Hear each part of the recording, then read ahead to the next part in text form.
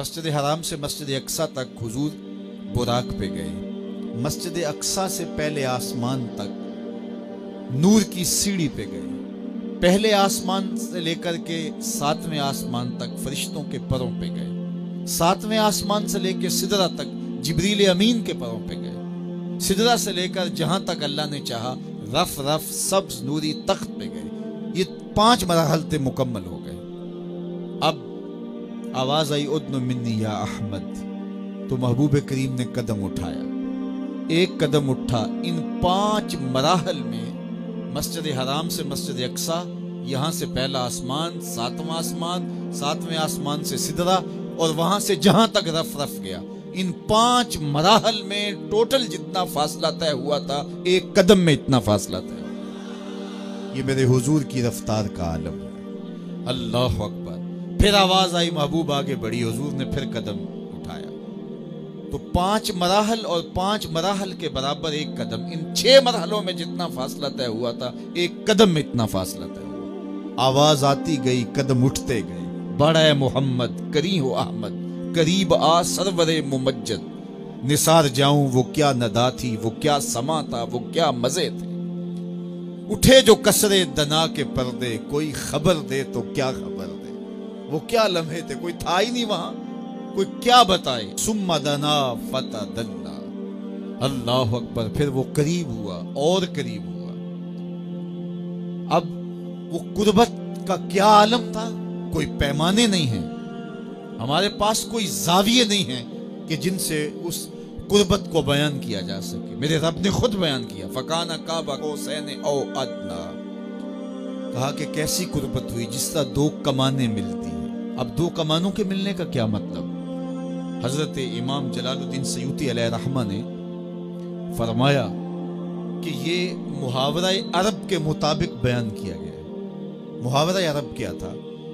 कि जब दो सरदार कौमों के आपस में सुलह करते तो अपनी मोहब्बत का, अपनी सुलह का ऐलान इस तरह करते कि खुले मैदान में आते और अपनी अपनी कमाने ले करके उनको जोड़ते।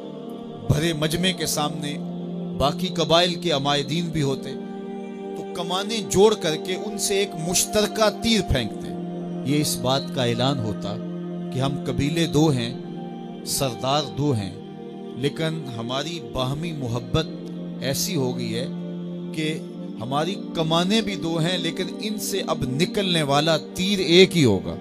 खबरदार किसी ने हमें छेड़ा। अगर किसी ने हमें छेड़ा तो हमारा दुश्मन इनका दुश्मन होगा, इनका दुश्मन हमारा दुश्मन होगा। तो हमारी कमाने अगरचे दो हैं, हमने कमाने जोड़ ली हैं, इनसे निकलने वाला तीर अब एक ही होगा। तो इमाम सयूती कहते हैं, ये मुहावरा अरब के मुताबिक बताया गया कि जिस तरह तुम कमाने जोड़ते हो और तुम्हारी कमाने दो होती हैं, निकल, निकलने वाला तीर एक होता है तो कहा, सुन लो, ये मेरा महबूब है और हमारी कमाने अगरचे दो हैं, कमान एक नहीं हुई। अलूहियत और अब्दियत की कमाने अलग अलग हैं, लेकिन खबरदार तीर एक ही होगा। अब महबूब करीम इस्लाम हाथ में कंकर पकड़े और ऐसे कुफार की जानब फेंके शाह तिल वज़ू अल्लाह आरिफ कुलूबहुम व जलजिल अकदामहुम। हुजूर कंकर फेंकते हैं और अल्लाह फरमाता वमा रमैता, इज़ रमैता। वला किन अल्लाह रमा। महबूब, ये जो कंकर तूने फेंके हैं, ये तूने तो नहीं फेंके, ये तो मैंने फेंके हैं। इसलिए कि कमाने दो हैं, निकलने वाला तीर एक है। हम ये नहीं कहते कि अल्लाह और उसके रसूल की जात एक है। अगर ये कहेंगे तो फिर कुछ बाकी नहीं बचेगा। हम कहते हैं जात एक नहीं, बात एक है। कमाने दो हैं लेकिन निकलने वाला तीर एक होगा। इसलिए जिसने रसूलुल्लाह की अतात की, उसने अल्लाह की अतात की। जिसने रसूलुल्लाह का इनकार किया, उसने अल्लाह का इनकार किया। जिसने रसूलुल्लाह से लाने जंग किया, उसने अल्लाह से लाने जंग किया। इसलिए कहा, महबूब, ये जो कंकर तूने फेंके हैं, ये तूने नहीं फेंके, ये मैंने फेंके हैं। तो इसलिए अल्लाह और उसके रसूल की जात एक नहीं, मगर बात एक ही है। तो कहा कि इतनी गुर्बत हुई, इतनी गुर्बत हुई जिस तरह कमाने जुड़ती हैं। अच्छा ये तो समझाने के लिए था। कहा ओ अदना। ये तुम्हारे समझाने के लिए कहानी बयान की, बाकी रही बात कुर्बत की ओ आदना, कुर्बत इससे भी ज़्यादा हुई। अब इसको कैसे बयान करें? यहाँ अकल सोख्ता पा है, यहाँ फहम इदराक दम बखुद हैं कि क्या बयान किया जाए। ये एक तमसील थी, कहा तुम्हारे समझने के लिए सिर्फ़ ये है जिस तक कमाने जुड़ती हैं। बाकी बात कुर्बत की ओ अदना कुर्बत इससे भी ज़्यादा निगाह मुस्तफ़ा ने, जमाल खुदा देखा। तो अल्लाह कुरान में फरमाता है, माँ कजब फुआद मारा जो आँख ने देखा, दिल ने उसकी तकजीब नहीं की, बल्कि उसकी तस्दीक की। तो मतलब क्या कि कल्बे मुस्तफ़ा ने जमाल इलाही पहले देखा था, आँख ने आज देखा था। तो आँख ने दिल से पूछा, ये वही है जो दर्द बन के दिल में रहता था, जिसकी तमन्नाएँ बेताब रहती थी? जिसके लिए रातों के रत जगे थे, जिसके लिए सहरी के सजदे थे, जिसके लिए खलवत में तौबा के आँसू थे, क्या ये वही है? जब दिल से आँख ने पूछा तो दिल पुकार उठा हाँ ये वही है। यहाँ एक जुमला कहना चाहता हूँ, जो दिल में रहता हो, वो आँखों में आ जाए, इसे तो मिराज कहते हैं। जो दिल में रहता हो, वो आँखों में आ जाए, इसे ही तो मेराज कहते हैं। माँ कजबल फुआदो मारा जो आँख ने देखा दिल ने उसकी तस्दीक की, उसकी तकजीब नहीं की।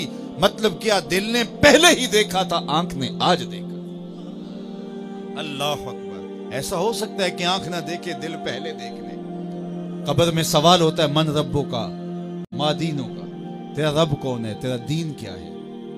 फिर हुजूर इस्लाम जलवा फिराज होते हैं तो पूछा जाता है माकुन तकुल रजुल?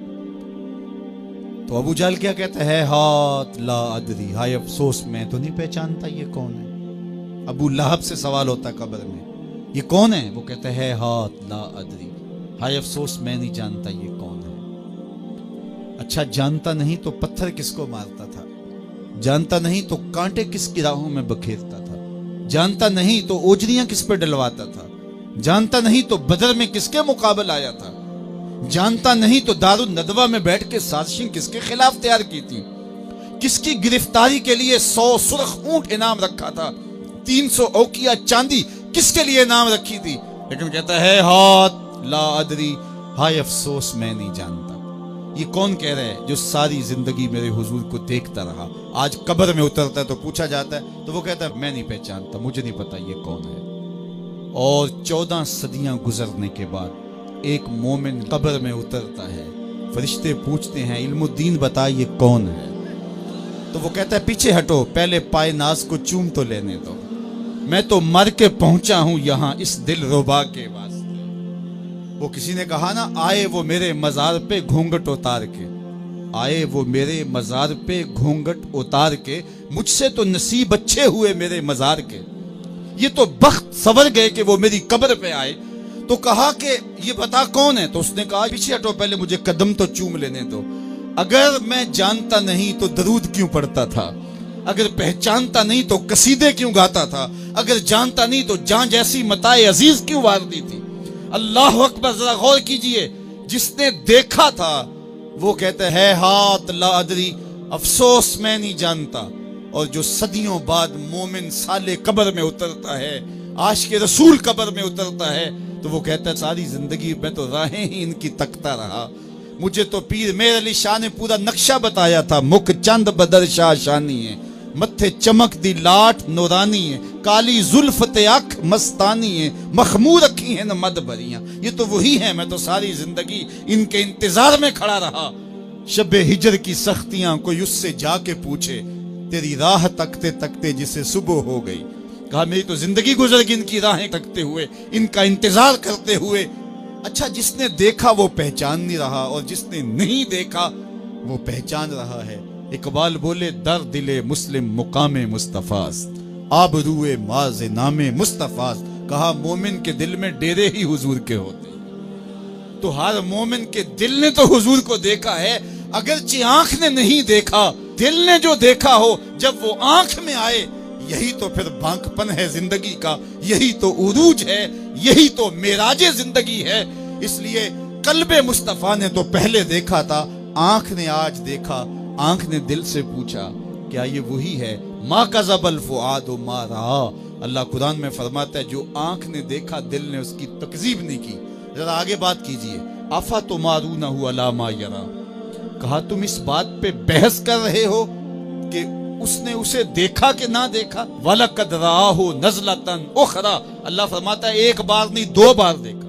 सूरत नज्म के अंदर भी फ़ाओहा इला अब्द ही, उसने अपने अब्द से बात की।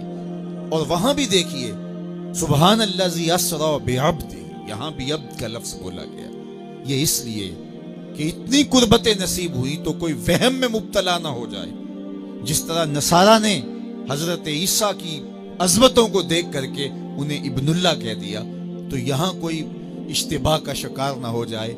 कहा, देखो, इतनी कुर्बतों के बावजूद अब्द अब्द रहा, माबूद माबूद रहा। अब्द और माबूद के दरमियान जो फासला था, वो मिटा नहीं, वो बरकरार रहा। लेकिन मुलाकात भी हुई, कुर्बत की भी इंतहा हो गई, लेकिन इसके बावजूद अब्द और माबूद का बाहमी फ़र्क भी बाकी रहा और उसने अपने बंदा खास को बहुत कुछ अता किया, झोलियाँ भर दी। हुजूर बारगाह इज्दी में हाजिर हुए। तो अर्ज़ की अत्तहियात वसलावात वत्तो ये बात कि मालिक, मेरी जानी, माली बदनी सारी इबादतें तेरे लिए। ये मेराज की हिकायत है जो हम तशहद पढ़ते हैं। अपना सब कुछ अल्लाह के हजूर पेश किया। और अल्लाह ताला जल्ला शानहू ने अपने महबूब को फरमाया, सलाम का अयोहन नबी व रहमतुल्लाह व बरकातुहू। तो सलाम और रहमतें और बरकतें महबूब पे नाजिल हुई। और सलामतियों का ये वादा हुजूर की उम्मत के हिस्से में भी आया। जब हुजूर ने जवाब दिया, अस्सलाम अलैना वाला इबादिल्लाहिस्सालिहीन ये सलामती हमारे लिए और नेक साले अल्लाह के जितने भी बंदे हैं सब के लिए। तो हुजूर ने गुनागारों का ज़िक्र अपनी आगोश में लेकर के किया, जमा के सीगे के साथ, अस्सलाम अलैना वाला इबादिल्लाहिस्सालिहीन सालहीन का ज़िक्र किया, लेकिन अलैना के अंदर जो जमा की जमीर है, उसमें गुनागारों को भी समेट लिया। अल्लाह अकबर, ये हुजूर की शान है, हुजूर ने गुनागारों को कभी भी तनहा नहीं छोड़ा है। मिराज की उन खलवतों में पहुँच कर भी गुनागारों को अपने दामन में समेट लिया, और हशर का दिन भी होगा तो हुजूर गुनागारों को अपने दामन में समेट लेंगे। मेरे इमाम बोले, पेश हक मुजदा शफात का सुनाते जाएँगे, आप रोते जाएँगे हमको हंसाते जाएँगे। वसअतें दी हैं खुदा ने दाम ने महबूब को, जुर्म खुलते जाएँगे और वो छुपाते जाएँगे। तो वो अब्दे खास ने वहाँ पहुँच करके भी गुनागार उम्मत को याद रखा और उम्मत की बख्शिश और उम्मत की मगफरत, अल्लाह के हुजूर इसकी गुजारिशें की और मेराज इस उम्मत के लिए एक बहुत बड़ा इनाम है। हुजूर की बुलंदियाँ, हुजूर का उरूज आका की अजमतों का बांकपन तो है ही है, लेकिन इससे गुनागार उम्मत का भी काम बन गया। उनकी बख्शिश, उनकी मगफरत और उनके लिए नजूल रहमत का ज़रिया बन गया।